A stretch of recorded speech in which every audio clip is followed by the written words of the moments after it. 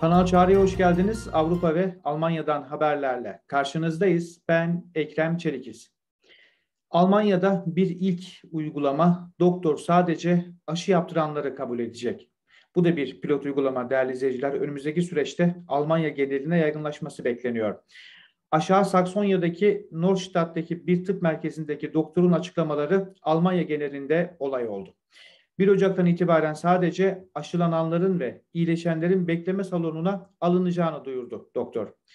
Doktorun kendisine bu açıklaması sonrasında 300'ün üzerinde nefret ve hakaret içerisinde e, içeren mektuplar geldi. Hatta gelen mektuplardan birinde bir kişi 1 Ocak sonrası kendisine zorla geleceğini yazdı.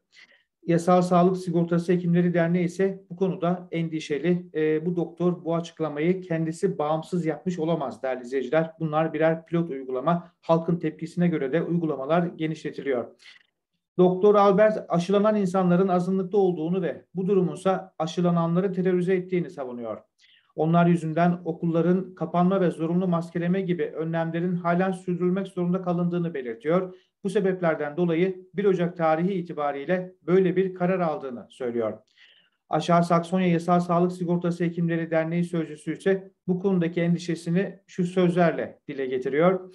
Doktorlarımızın tedavi etme görevi var ve ileri yaştaki hastaları reddetmelerine izin verilmiyor. Yine sözcünün açıklamasına göre 1 Ocak sonrası böyle bir uygulamaya geçilmesi durumunda Doktor Christian Albert için disiplin kurulu devreye girebilir.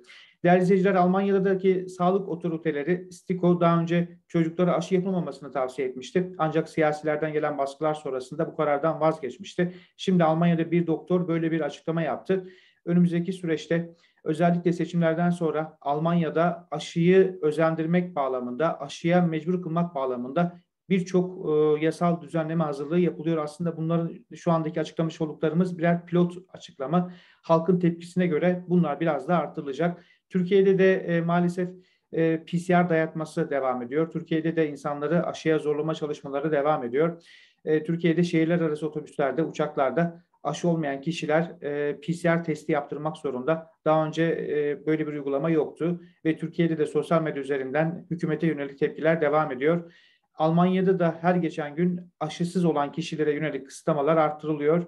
Yani e, önümüzdeki süreçlerde neler yaşanacak gerçekten e, herkes endişeli. Umarız en kısa süre içerisinde hayatımız tamamen normale döner ve bu pandemi süreci sona erer. Değerli izleyiciler bir sonraki haberde görüşünceye kadar her şey gönlünüzce olsun. Hoşçakalın.